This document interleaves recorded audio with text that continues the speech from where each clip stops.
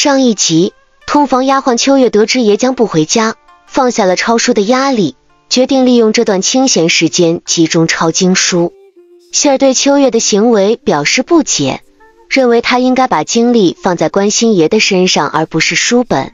大家好，欢迎来到灵感故事盒。如果你喜欢我的频道，请点赞、订阅并支持一下。现在我们开始今天的故事。刚刚他还在跟杏儿在那说呢。今晚爷估计也不会回来了，他又可以抄经书了。杏儿还在说，若是日后大人再有几房妾室，就他这不争不抢的性子，只怕是要失宠。哪怕他长得很好看，那是最好了。我倒是乐得自在。最好的到时候啊，我能被放出去，正好自由。他可太向往自由了，他不想过这种被困在后宅的日子。之前做奴婢的时候，虽然苦了点，但好歹能时常回家。如今怕是奢望了啊！主子，你想被放出去？可是您到时候还能再嫁人吗？杏儿有些吃惊，没想到主子居然是抱着这种想法的。秋月苦涩的扯了扯嘴角，有些无奈。嫁人不嫁人的，我已经不奢望了，我只是不喜欢这种生活。犹如笼中的金丝雀一般，若是一世如此，还不如早早死了算了。这是他的真实想法。若是一辈子做妾，他宁愿去死，他不想过那种日子，以色侍人，最后人老珠黄了。为了孩子，还要去争去抢啊！主子，这话可说不得啊！杏儿赶忙过来，捂住他的嘴巴，还呸呸了好几句，说不吉利什么的。不过自从知道他真实想法，杏儿从那以后就没再说过让他多去见见大人这类的话。接下来的时间就是他静静的抄书，杏儿在一旁做着衣服，时不时偷看他一眼。没想到这时候也居然过来了。秋月赶忙起身，杏儿回头看了他一眼，随后便出去了，还顺便把门带上了。温玉衡一把搂住秋月的纤纤细腰。然后坐在了椅子上。你年纪轻轻的，怎么也在抄经书？秋月只觉得肩膀一重，耳旁有道温热的气息洒落，他的身子一下子就僵硬了一下。爷，不能在这里，得去您的房里。主君是不能睡在通房的房里的，这不合规矩。明日他只怕是要被老夫人又是一通教训了。你在想什么呢？我现在就没打算碰你。温玉衡捏了捏秋月的小脸蛋，轻笑道。秋月的脸蛋更红了。他这不是，既然你这么着急，那走吧。只见他直接就把秋月一把打横抱起，还颠了颠。秋月被吓得直接一把搂住温玉衡的脖子。爹，我没有。秋月说话的声音都低了。温玉衡抱着他就出了门，往灵虚院去了。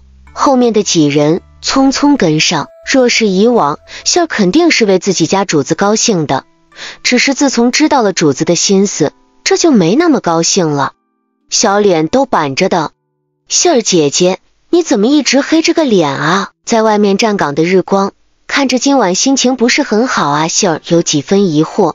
杏儿白了他一眼，一点都没理他。他的主子都想去死了。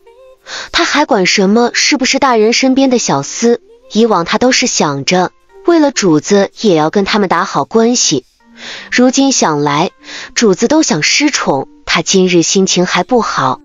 日光被白了一眼，有一些莫名其妙。他挠了挠头，想着女孩子心情总是会不好的，随缘吧。秋月早就洗好了，温玉衡不想他累着，就自己洗了。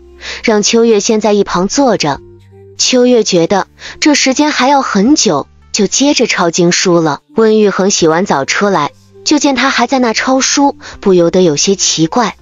这年纪轻轻的，为什么这么爱抄书？你就这么爱抄经书吗？小小年纪的就要学那些心虚之人，求神拜佛抄经书吗？秋月被他的言论惊到了。心虚，说的是老夫人吗？秋月默了默，要怎么告诉爷？那个心虚之人就是他娘呢？爹，奴婢是想着多抄些经书给老夫人送去，让她能喜欢我一点。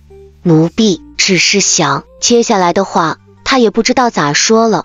不过在温玉恒听来，却是大不一样了。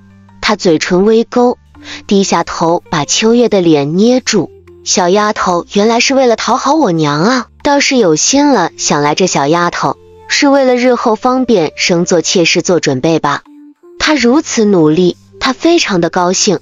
秋月听了这话一愣，也好像是误会了。对了，爷，我刚刚找纸张的时候看见那个画像了。秋月只得转移话题，他直接就扯到温玉恒新带回来的那个画像。感觉有些似曾相似，明明没见过那个人。被他这么一提醒，温玉恒就想起来了。他拿出另外一张画像，递到秋月的面前：“你看看，这两个人是不是同一个人？”他倒是忘记了，他的小通房还有这方面的本事。秋月接过画像，仔细的看了起来，又经过对比，然后摇了摇头：“爹，奴婢看来……”这两个人不是一个人，他们的骨相不一样，但是他们之间有一个相似之处。秋月自小就有一种认人的本事，哪怕是经过改装，他还是能通过相似之处一眼看出来。嗯，哪里相似？如今看来，这两个人确实不是一个人了。看来是个团伙，做事的人还是不少了。爹，您看。这个人的眼睛，我之前说是假的，他的脸上眼睛不应该是如此，而这个人也是如此，他的眼间距也是偏宽，一个人眼睛偏宽，两个人眼睛也偏宽，只有两种可能，两人都对眼睛进行改装，或者说只易容了眼睛部分，这是为什么呢？嗯，他的眼睛也是不正常的，是的，眼。他们两个人的眼睛都经过变装了，只是我不理解，为什么易容只易容眼睛还往小了变？照道理来说，易容应该是怎么自然怎么来，这个人为什么要变眼睛呢？秋月有些百思不得其解，只对眼睛进行变装，除非他们眼睛见不得人，或者与我们有很大的不同。温玉恒也想到了这点，正常人易容。怎么可能只易容眼睛部分？除非他们的眼睛与他们这边的人很是不同。突然，温玉衡就想到了一个可能性。秋月有些吃惊的抬起头，不是中原人。他赶忙低头又看向画像，但是又皱了皱眉头。爷，若是说这不是中原人，还能是哪里人？奴婢只知道西域人，或者是。罗刹国的人，他们的眼睛与中原人不相似，只是看这长相，西域人的可能性大一点。温玉衡没想到，他居然懂这么多，居然连罗刹国和西域都知道，还知道他们的容貌特征。他不禁问道：“你见过西域人？”“见过呀，小时候爹爹带我在大街上看过杂耍，里面就有一个西域人。当时爹爹就跟我说，西域人的容貌。”与中原人极其相似，只是他们鼻子更高，眼睛更深邃。有些西域人的眸子颜色不同，而罗刹国的是红发、高鼻梁，甚至连胡子、眉毛颜色都与中原人不同。秋月理所当然地说道。温玉恒倒是没想到，他的小通房的爹爹见识还挺不错的。他淡声道：“那你的爹爹倒也算见过世面。”说到爹爹。秋月的脸一下子暗淡下来了。若不是爹爹早逝，他也没必要卖身。他的哥哥肯定有人管教。是啊，我爹爹是个秀才呢，还是会员呢。虽然他没见过爹爹中了秀才的画面，不过想来当时的爹爹必定是意气风发的吧。只是后来，只能说命运弄人啊。哦，那你爹爹的才学应当不错才对。为何后面没有继续参加科举？若是若是中个进士，与他是同僚，他就能娶这个丫头为妻了。想到这里，温玉恒不由得一愣，他居然想娶这个丫头为妻。不过想来也是正常，他至今就看这小丫头顺眼，他单纯没什么功利心。我爹爹本来是要去考取举人的，只是恰逢我爷爷去世，我爹爹为了守孝。便错过了。接着便是遇到天灾，举家逃亡。进了京之后，为了养家糊口，也就没机会再去考学了。他也曾幻想过，若是爹爹考中了进士，他是不是就不一样了？不过现在想那些无法实现的事情，也是枉然了。秋月爬起来的时候，只觉得身子发软。昨日也不知道怎么回事，就被大人带到了床上了。张嬷嬷照例来敲打秋月，又赏了避子汤，顺带还阴阳怪气的对秋月说道：“对了，阮娘子，您经书抄的如何了？可别耽误了老夫人的事啊，要不然……”话还没有说完呢，秋月就把抄好的经书递到张嬷嬷的面前，让她直接闭了嘴。张嬷嬷，这是我这两日抄的经书。有三日份了，有劳张嬷嬷帮我转交了。张嬷嬷吃惊了，拿起纸张翻了翻，他又看不懂字，但是看分量应该是没问题的。不但他看不懂字，老夫人也看不懂。他被这么一惊，也不知道说什么好了，只得带着东西气呼呼的走了。小贱人为了勾搭少爷，这是不要命的抄啊！主子，既然您不想做妾。那您何必抄经书呢？还不如让老夫人心生不满，早早把您赶出去得了。一想到主子说的一辈子当妾，还不如自尽呢。杏儿现在一门心思都是怎么让主子失宠。傻杏儿，老夫人看我不满，只有让人打我，没有大人点头，她是不会赶我出去的。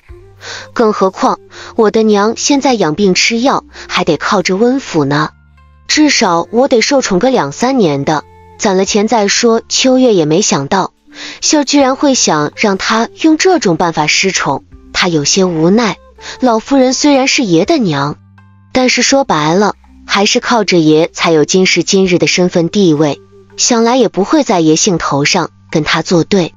啊，倒是奴婢想差了。杏儿挠了挠头，真复杂。还好他只是个奴婢，不用想这么多。那主子目前不想失宠，他还是对日光和月光态度好一点吧。温玉衡下了朝，就去府衙那边找廖德凯。此时的廖德凯正在查资料，见他过来，赶忙迎了上去。温大人，您来了。嗯，有什么发现没有？温玉衡颔首，他需要府尹的配合，毕竟京城中来了那些外来人口，他应该最清楚。回大人。下官发现，近日京城来了一伙外来的商贩，说是走南闯北的行商，卖的都是西域的货色。只是他们此次带来的货物都非常的普通，主要是来的不少人，而且查了档案，近期老有一些西域的商贩，以往没这么多。京城虽然繁华，但是对东西的品质要求很高的，这些商贩带过来的东西太过于一般了。以至于他们待了好多天，都没卖出去多少。一次两次还好，这么多蠢商人，那就很奇怪了。我正好看出来一些端倪。这两个人的眼睛，你看，跟正常人眼睛大小不一致。我猜他们的眼睛眸子的颜色与我们不同，有可能是西域人。温玉衡毫不脸红的占了秋月的功劳，他的通房的事情。没必要跟外人说，让人想想也是不行的。这大人，下官查到的那些西域人的行踪，也是在案件发生的前几日进京，然后在发生之后的当天或者一两日离京，这也是他觉得奇怪的地方，但是又说不出来什么原因。如今看来，倒是有可能。廖德凯又看了看画像，他没觉得眼睛有什么问题啊。温大人不愧是温大人啊，就是厉害啊，这都能看出来有问题。他确实听说过一种易容术，就是那些眼睛颜色不一样的人，会想办法把眼睛变小，从而改变颜色。既然有此发现，那下次再有西域人入京，就让人一直盯着。我会通知各地方的人，小心西域人。看来这事还真有可能是西域人做下的。只是西域人为何会针对他们？看来朝中定是有人与西域人有联系。温玉衡觉得目前的当务之急还得进宫跟皇上禀报一趟，毕竟事关江山社稷的，还直指皇上。廖大人，其他的事情要麻烦你了，我进宫一趟，改日再过来，或者你有什么发现，及时让人通报于我。想到这里，温玉衡就匆匆的离开了。廖德凯摇了摇头，真的是多事之秋啊，一不小心他们就得完蛋。当秋月好不容易送走了张嬷嬷，要去抄经书的时候，周梦瑶又来了，还是带了一些东西。秋月心中默默的叹了一声，又来了。奴婢见过表小姐，秋月默默的起身行礼，心中有些无奈，为什么又来了呢？她还想努力抄书呢，免得晚上又被爷问呢。没想到自己倒是想安安静静的抄书，这表小姐又来烦她。她其实能感觉到表小姐没带多少善意，只是碍于身份，她也不能怎么样。别如此多礼。阮娘子，你我早晚是姐妹，不若你现在就称呼我妹妹吧。周梦瑶热情地拉着秋月的手，坐到一旁的椅子上。秋月听了这话，赶忙说道：“奴婢不敢，奴婢只是奴婢，可不敢与表小姐称姐妹。她可没打算喊表小姐妹妹，如此有违规矩。到时候她告到老夫人面前，她可是要倒大霉的。”周梦瑶自然没真心想与她姐妹相称，所以她推辞，她也就不坚持了。秋月心中微微松了口气。对了，阮娘子，我见你日日抄书辛苦，让人给你买了一些上好的笔墨纸砚，这样子能更方便你抄写一些。说着，周梦瑶便让人把东西拿了过来，递到秋月的面前。秋月有些惶恐，她可是识得这些东西的，表小姐。万万不可啊！奴婢可用不到灰墨啊，这纸奴婢这边也有的。秋月是认得的，这笔墨纸砚可都是宁辉摘出来的好东西，她可不敢收这些东西，更何况给老夫人抄经书，用这么好的纸，老夫人也看不懂啊！你认得这纸的出处？周梦瑶心思一动，这小贱人没想到见识这么多。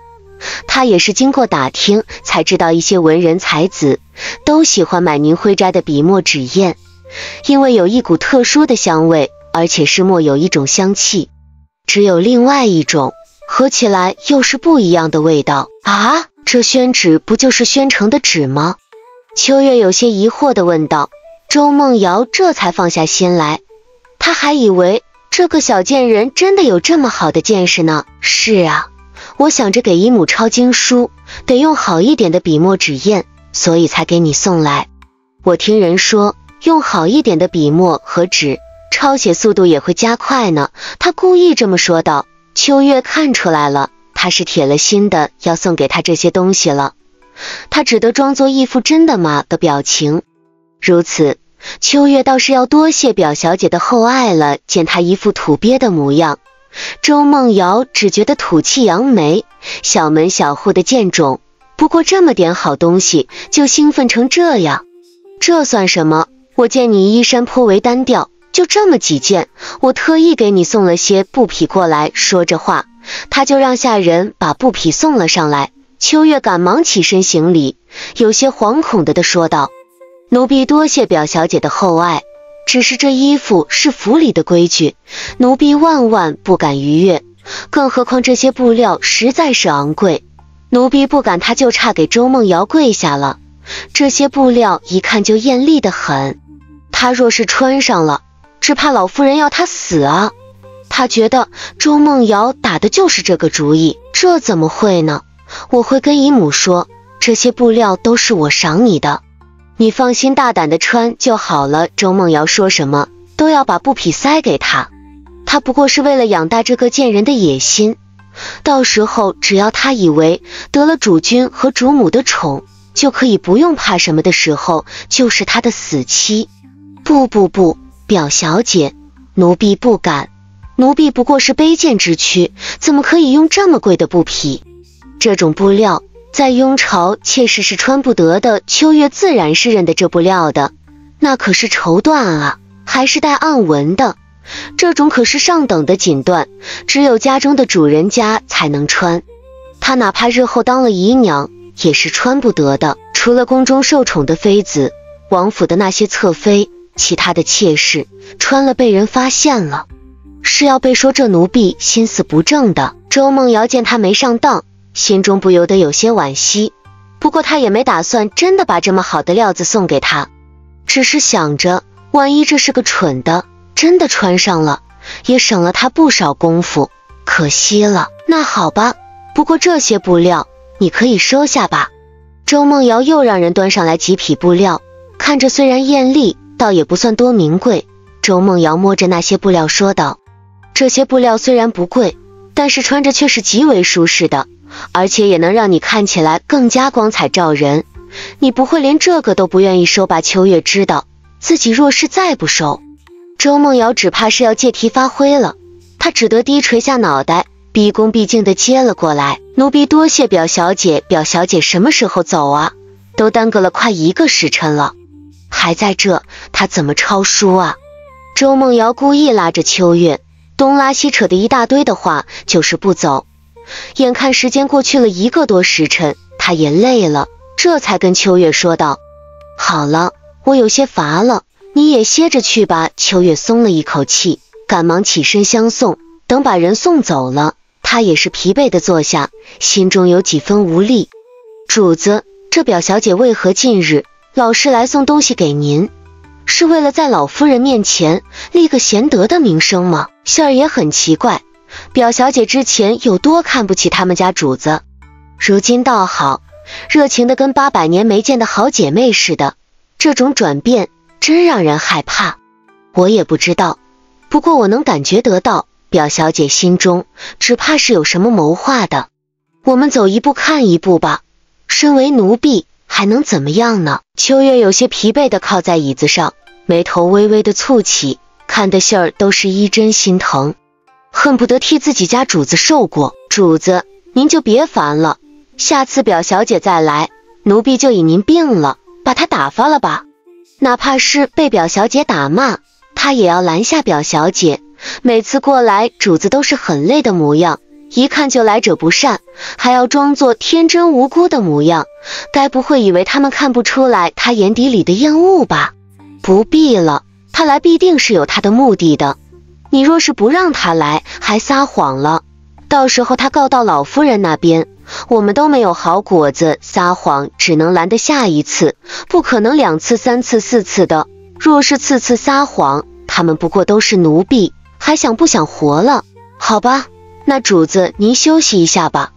我看您今日也是辛苦了。杏儿听了他的话，也只得作罢了。他有些心疼秋月，奈何自己又不识字。没法替主子分忧。不了，我今日要抄的经书还没有抄完呢，抄完了还要多写一些，要不然只怕要挨骂。这老夫人现在倒是没对他打骂之类的，只是这日日抄这么多经书，也是足以让他身心疲惫。晚上还要伺候爷，他真担心哪天就病倒了。那奴婢为您泡点茶吧。让你吃了好提提神性儿，只有这点能为主子做的了。秋月见他皱着眉头，不由得摸了摸他的小脸，笑道：“好了，别愁眉苦脸的，要笑啊，多笑笑，运气会好的。”嗯。温玉衡进宫的路上，见到了安抚出宫的马车，那安梅如见到他的马车，不由得眼睛一亮，当即就想去打招呼，被他贴身陈嬷嬷拦了一下：“郡主。”不可啊！当街拦男子的马车，会对您的名声有影响的，万万不可。安梅如平日被宠坏了，完全没想起这些规矩什么的，被陈嬷嬷这么一提醒，这才作罢。她还是有些不甘心的说道：“若是我拦下他的马车，被人看见了，不正好争取他吗？”陈嬷嬷是安然娘亲的贴身婢女。自从他们家小姐过世以后，他就把精力放在安梅如身上了。郡主糊涂啊！若是男子拦女子的马车，会被传成美谈；女子的话，则会被说成轻浮。更何况奴婢听说，温府的老夫人可是最注重规矩的。更何况郡主您身份高贵，使不得安梅如只是太喜好温玉衡了，见到他就想凑上去说话。没了自己的主心骨，如今被陈嬷嬷这么一说，也是清醒过来了。他对陈嬷嬷最为敬重信任。自从娘去世以后，只有陈嬷嬷是真心待他，宠着他，所以他还算是听他的话。温玉衡完全不知道，刚刚他差点要经历一场闹剧。若是他的马车被安梅如拦了下来，只怕是会惊动皇上。臣温玉衡叩见皇上。皇上圣安进到宫中，来到了上书房。温玉衡板板正正的行了个礼，在上面的皇上赶忙说道：“玉衡，你快快起身。朕早就说过了，只有你我二人，你不必行此大礼。真的是每次都不听话。虽然是如此，他眉眼间的满意是怎么也无法忽视的。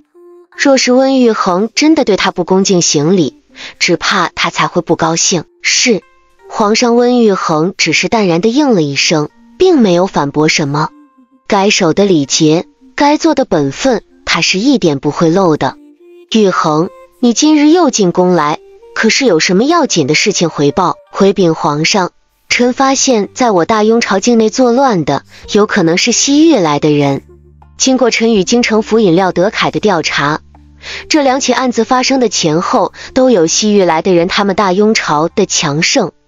周围的各国都拜服，加上他们皇上励精图治，心胸开阔，允许周围的国家的人前来做生意或者求学之类的。所以，无论是京城还是大雍朝境内，都有不少其他国家的人。只是西域的人，有些跟他们的人长得非常的相似，所以普通的老百姓不一定认得出来。哦，你的意思是？西域的在我大雍朝境内闹出这些乱子，是为了让百姓们不再相信朕。皇上的眉头紧紧的皱了起来。他一向对外邦都是非常的开化，也没有压迫歧视他们，他们却如此对待他的信任。皇上，臣担心的是，西域人与朝中的人勾结，温玉衡向来不会独吞功劳。比如此次查出这些苗头，有廖德凯的功劳在。他也是会提一嘴的，这也是朝中上下信服温玉衡的原因。不过，关于秋月的事情，温玉衡却是不会说。一个小小的通房，有如此才情名气，不是好事。母亲只会更讨厌他。玉衡，你说这话可有什么依据？皇上眯了眯眼睛，对温玉衡的判断已有八成的相信，只是他还是得问这么一句话。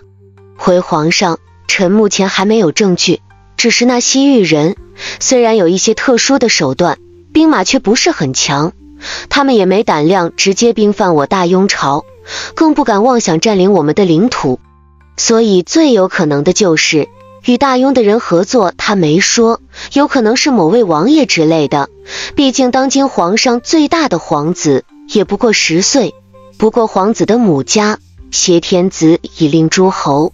也不是不可能，只是他们既然是想败坏皇上的声望，这种做法对于他们来说有些愚蠢。毕竟暴君之子，非天命之人的儿子，能是什么天子？所以最有可能是某位王爷之类的，或者是某位有兵权的人。皇上也是想到了这些，不由得脸色有些难看。玉衡，朕今日就赏你一道金牌。但不是明赏，除非关键时刻，否则金牌不可出。关键时刻，你可以直接拿金牌击杀幕后之人。他是信任温玉衡的，他一个没有任何背景的举子，一路走来都是他在扶持。不过他给他的已经太多了，若是多了那道金牌，只怕言官要说三道四了。温玉衡立刻就给皇上跪下了，能被皇上赐予金牌的。除了一些皇亲国戚跟一些老臣，自大雍开国以来，加起来不超过十枚。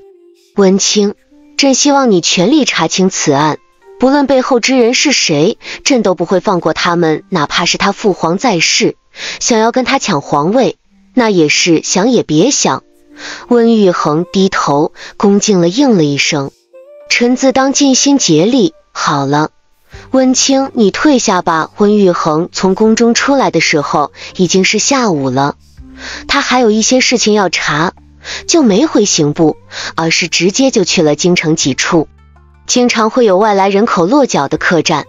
他在马车上换了一身衣服，改了一下装扮，与他平日里的穿着有些不一样，甚至整个人气场都改变了一些。从马车上下来的是一位身着红袍，手拿一把扇子，头发也是半披着，看起来像个浪荡的公子哥，嘴角噙着玩味的笑容。他的出现吸引了周围人的关注，实在是他长得太好看了。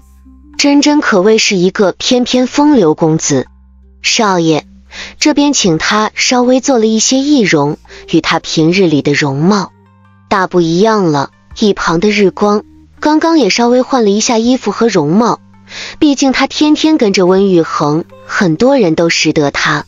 嗯，你小子不是说最近来了不少异域风情的美人吗？快快带爷去看一眼。温玉衡笑着用扇子敲了敲日光的脑袋。看着确实是个喜好美色之人，日光赶忙带着他往前走。少爷，别急，昨儿个奴才还看见这里有西域美人在表演呢。此地不单有西域的商人来做买卖，也有一些人运一些美人过来，说是表演歌舞的。毕竟西域美女能歌善舞的，实则是贩卖人口的。表演过程中有人被看上了，就会去跟买主谈话。